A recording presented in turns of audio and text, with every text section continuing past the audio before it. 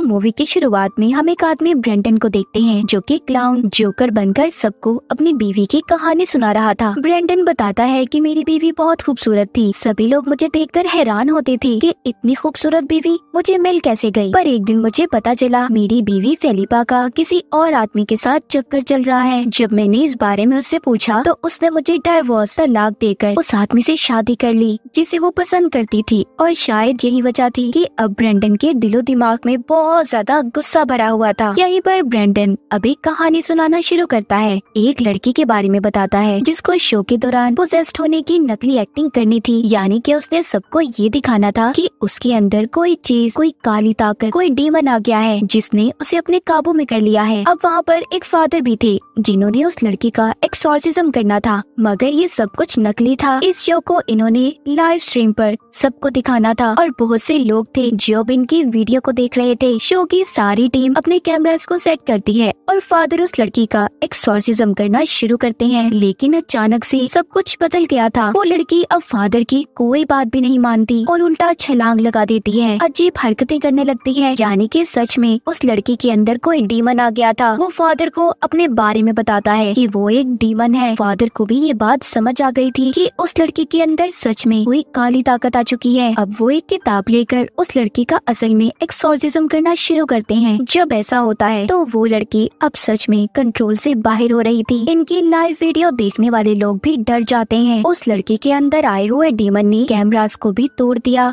जिस वजह से इनकी लाइव स्ट्रीमिंग रुक जाती है। थोड़ी देर के बाद सब कुछ ठीक हो जाता है, और उस लड़की को तो बिल्कुल भी कुछ याद ही नहीं था कि उसके साथ हुआ क्या था। वहाँ पर इस शो की टीम के जितने भी लोग थे, सभी बहुत खुश थे कि उनकी वीडियो बहुत से लोगों तक पहुँची, जो एकदम मसल लग रही थी। मगर ये नहीं जानते थे कि खतरा तो अभी शुरू हुआ था। हम उन लोगों को देख पाते हैं जो इनकी लाइव वीडियो को देख रहे थे। उनको उस डीमन ने पोजेस्ट अपने कंट्रोल में कर लिया था, जो उस लड़की के अंदर आया था। दरअसल वो डीमन उस शो के ज़रिए बहुत से लोगों को अपने काबू में करना चाहता था। अब जिसके बाद वो लोग उस डीमन के काबू में आते ही अपने आसपास के लोगों को मारने लगते हैं। तो इस कहानी के ज़रिए हमें ये बताया गया है कि हमेशा अपने काम के बारे में सही और उसके साथ ठीक रहना चाहिए, न कि लोगों को कोई भी गलत या खराब चीज़ दिखाकर उनका ध्यान अपनी तरफ़ करे, जिसके बाद हमें ब्रेंटन दिखाया जाता है। ये कहानी सुनाने के बाद वो अब फादर के रूप में था। कहता है की कुछ लोग अपने काम को इतना सीरियस ले लेते हैं की उन्हें अच्छी या गलत काम करने में कोई फ़र्क ही नज़र नहीं आता और इसी के साथ वो अपनी ऑडियंस ऑडियंस को दूसरी कहानी सुनाना शुरू करता है। एक आदमी के बारे में बताता है, जो कि एक पागल कातिल था, जो बैठा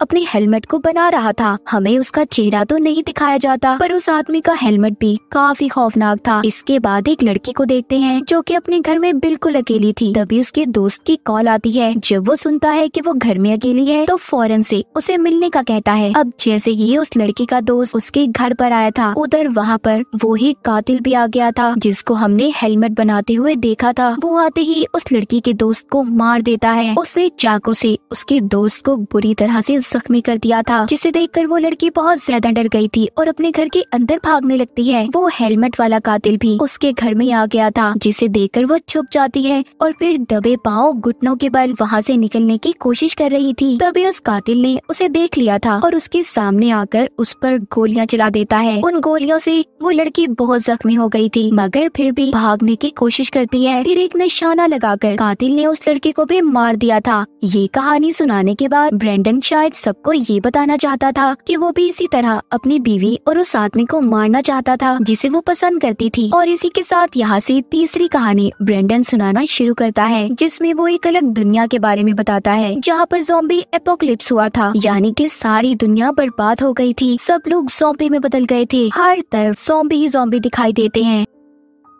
जो वहाँ पर किसी न किसी तरह अपनी भूख को खत्म करने के लिए इंसान को नोच नोच कर खा रहे थे। यहीं पर एक ग्रुप में सभी जोम्बिस मरे हुए इंसान को खा रहे थे। तभी उनके पास एक छोटी बच्ची आती है, जो कि शायद अभी जोम्बी बनी थी, क्योंकि उसकी हालत बाकी के जोम्बिस जैसी नहीं थी। अब वो उन्हीं जोम्बिस के पास आती है, जो लाश को खा रहे थे। मगर वो जोम्बिस उसे डरा कर किसी डॉग की तरह उसे वहाँ से दूर कर देते हैं। तभी एक जोम्बी आदमी की नज़र उस बच्ची पर पड़ती है। उसे देख कर न जाने उसे क्या हो गया था। वो उस लाश में से एक गोश्त का टुकड़ा नोच कर उस बच्ची को खाने के लिए देता है, जिसे खा कर वो बच्ची अपना पेट भरती है और फिर चुपचाप वहाँ से उसी जोम्बी आदमी के साथ चली जाती है। वो जोम्बी उस बच्ची को झूले देता है, मगर अचानक से उस बच्ची के हाथ पर चोट लग गई थी, जिससे उसकी हड्डी बाहर आ जाती है। जोम्बी उस हड्डी को भी बड़े ही आराम से अंदर करके उस बच्ची के हाथ को ठीक कर देता है। अब जब वो दोनों थोड़ा सा आगे जाते हैं तो एक आदमी ने अपनी गन से उस आदमी जोम्बी को मार दिया था, क्योंकि वो वहाँ पर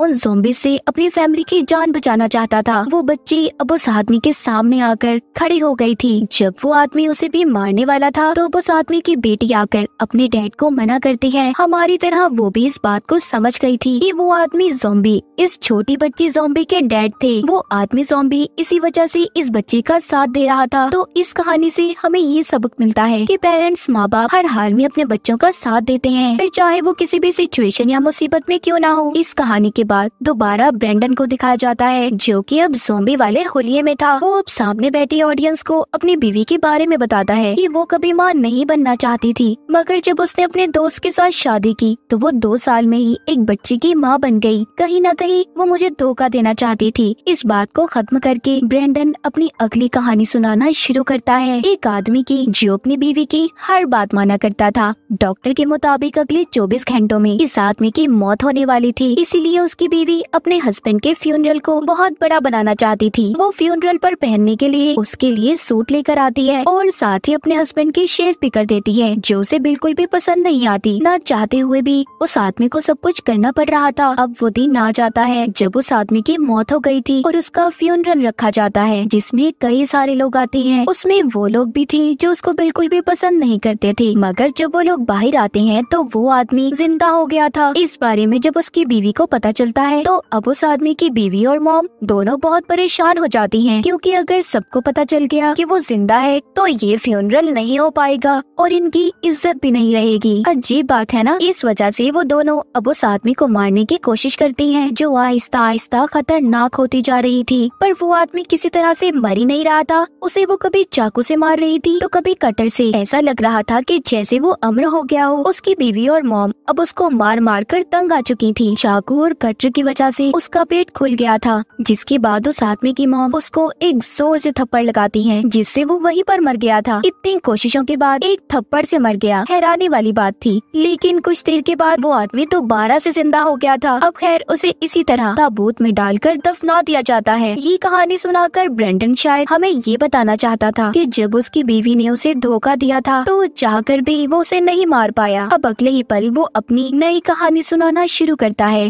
जिसमें कुछ लोग आसमान से बारिश की तरह गिर रहे थे। असल में इन लोगों को स्पेस शिप से नीचे फेंका जा रहा था। फिर एक और आदमी जो बड़ी सी रोबोटिक मशीन में बैठ कर आता है, वो वहाँ पर सभी लोगों को मारना चाहता था। उधर जितने भी लोग थे, सभी डर गए थे और गॉड से मदद मांगने लगते हैं। तभी एक मुर्गा ज़मीन पर आकर उस मशीन को खत्म कर देता है। वो ताकतवर और साइज़ में बहुत बड़ा था और उसने उस मशीन को पूरी तरह से बर्बाद कर दिया था। अब ये कहानी ब्रेंडन ने क्यों सुनाई थी, वो भी नहीं जानता था। कहानी नंबर छह, ब्रेंडन हमें डेथ नाम के एक आदमी की सुनाता है, जिसका एक बेटा भी था। डेथ का बेटा आम बच्चों की तरह था और उसको कार्टून देखना बहुत पसंद था। उसके डैड उसको पेंट का काम देकर चले जाते हैं, मगर वो अपने डैड के जाते ही सारा काम छोड़कर दोबारा से कार्टून देखने लगता है। डेथ अर्थ ज़मीन पर मरने वाले लोगों की लिस्ट बनाया करता था, यानी कि उनकी मौत का रिकॉर्ड रखा करता था। कुछ लोग उसको ऐसे मिलते हैं जो एक्सीडेंट में मर गए या फिर दूसरों ने मार दिया था, और कुछ इंसान ऐसे जो अपनी मौत खुद मर गए। इधर डेथ का बेटा टीवी में एक एंजल फरिश्ते को देखता है, जो इंसान की जान बचा रहा था। वो सोचता है कि वो भी इसी तरह लोगों की जान बचाया करेगा। अब खुद को भी उसने एंजल फरिश्ते जैसा बना लिया था। डेथ जब घर आता है और इस हुलिये में अपने बेटे को देखता है तो उसे बहुत मारता है। मगर उसका बेटा फिर भी फरिश्ता बनकर लोगों की जान बचाने निकल जाता है। वो एक फैक्ट्री में चला गया था, जहाँ पर देखता है एक गाय को कैसे बुरी तरह से मार दिया गया। ये सब कुछ देखकर वो सोचता है कि दूसरी गाय के साथ वो ऐसा नहीं होने देगा। इसीलिए वो उस दूसरी गाय को वहाँ पर आज़ाद कर देता है। अब जब वो गाय जा रही थी और डेथ का बेटा ये सोच ही रहा था कि उसने कितना अच्छा काम किया, तभी उस गाय की एक गाड़ी से टक्कर हो जाती है और उस गाड़ी में बैठा हुआ कपल मारे गए थे। मगर उनका बच्चा अभी भी ज़िंदा था। वो रो रहा था। डेथ का बेटा जब उसे देखता है तो उसे उस बच्चे पर अब तरस आता है। इसीलिए वो अब सब कुछ ठीक करने के लिए उस कपल की आत्मा को ज़बरदस्ती पकड़कर उनके अंदर डाल देता है, जिससे वो ज़िंदा तो हो गए थे, मगर एक जोम्बी में बदल चुके थे, जो वहाँ पर और भी लोगों को काट कर अपने जैसा जोम्बी में बदल देते हैं। डेथ के बेटे को यहाँ पर ये बात समझ आ गई थी कि उससे कितनी बड़ी गलती हो गई। अब वो उधर दुखी बैठा ही था, तभी उसके डैड आ गए थे। डेथ ने आकर सब कुछ ठीक कर दिया था। अब वो अपने बेटे को लेकर एक पार्क में जाता है, जिस झूले में बैठे वो मज़े कर रहे थे। उसका बहुत बुरा एक्सीडेंट हो गया था, जिसमें डेथ और उसके बेटे को छोड़कर बाकी के सब लोग मर जाते हैं। अब इसके बाद डेथ का बेटा भी अपने डैड का साथ देने लगा था। वो जान चुका था कि माँ बाप अपने बच्चों को जो भी कहते हैं, सब उनकी भलाई के लिए होता है। क्योंकि वो जानते हैं कि उनके बच्चों के लिए क्या सही होगा और क्या गलत। और इसी के साथ ब्रेंडन अगली कहानी सुनाता है। हमें एक लड़की दिखाई जाती है जो कि एस्ट्रोनॉट खलाबाज थी, जो अपने स्पेसशिप की तबाह होने की वजह से स्पेस आसमान में ही हवा में उड़ती जा रही थी। उसकी ऑक्सीजन भी खत्म होने वाली थी। वो चाहकर भी किसी से राबता नहीं कर पाती। तभी उसे अपने सामने एक ब्लैक होल नज़र आता है, जिसके अंदर ना चाहते हुए भी वो खींची चली जा रही थी। जब वो उस होल के अंदर जाती है तो उधर उसे अपने जैसे और भी एस्ट्रोनॉट्स दिखाई देते हैं।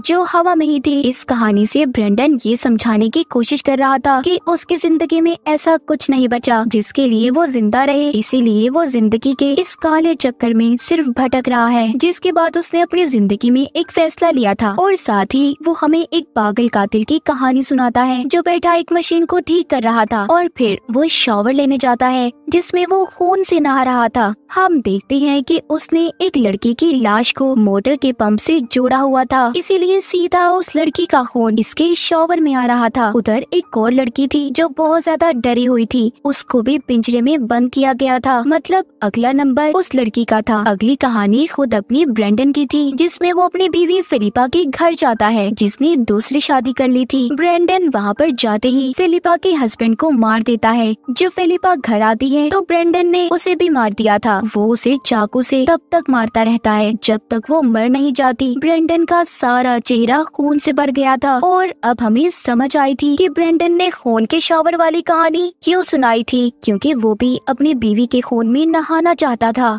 यहाँ पर ब्रेंडन अपनी ऑडियंस को आखिरी कहानी सुनाता है, जहाँ पर सर्कस में बहुत से लोग थे और खूब मज़े कर रहे थे। तभी जोकर एक बच्चे के पास बॉम्ब फेंकता है, जिसे वो बच्चा नकली समझकर उसे पकड़ लेता है और देखते ही देखते बहुत ज़ोर से धमाका हुआ था। वहाँ पर अब कत्लेआम शुरू हो गया था। जितने भी जोकर थे, सर्कस में आए हुए लोगों को मार रहे थे। तभी वहाँ पर एक लड़की आती है, जो सबको मार रही थी। उसे ऐसा लग रहा था कि सबसे बचकर वो निकल जाएगी। मगर ऐसा नहीं था। एक जोकर पीछे से आकर उस लड़की को मार देता है। तो इस कहानी से हमें पता चलता है कि ब्रेंडन, जो कि जोकर बनकर सर्कस में काम करता था, वो यहाँ पर आने से पहले अपनी बीवी को मार कर आया था। जितनी भी ब्रेंडन ने कहानियाँ सुनाई, वो सब उसकी ज़िंदगी से जुड़ी हुई थी। तो आपको इनमें से कौन सी कहानी अच्छी लगी? कमेंट सेक्शन में ज़रूर बताइएगा। और इसी के साथ इस मूवी की कहानी यहीं पर खत्म हो जाती है।